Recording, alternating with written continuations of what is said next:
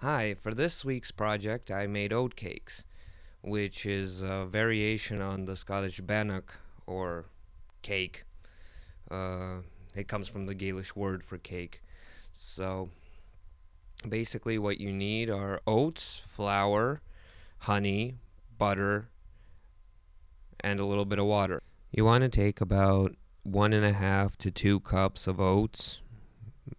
Rolled oats are better than instant oats about two tablespoons of flour, half a stick of butter, and three tablespoons of honey, a teaspoon of salt, and about a fourth of a cup of water. Then you mix everything together.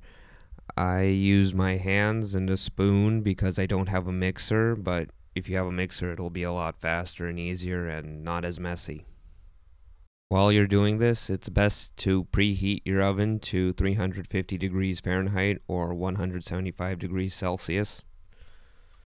After you're done with that, you just grease a pan and lay out the dough so it's about a fourth of an inch thick and two inches in diameter. This recipe makes about 9 10 oat cakes. Obviously, if you want to make more, you can just double or quadruple the recipe.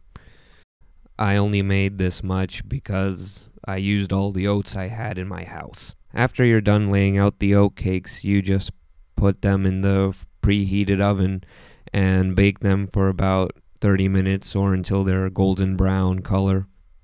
After half an hour, you take them out, let them cool for a while, and your oat cakes are ready.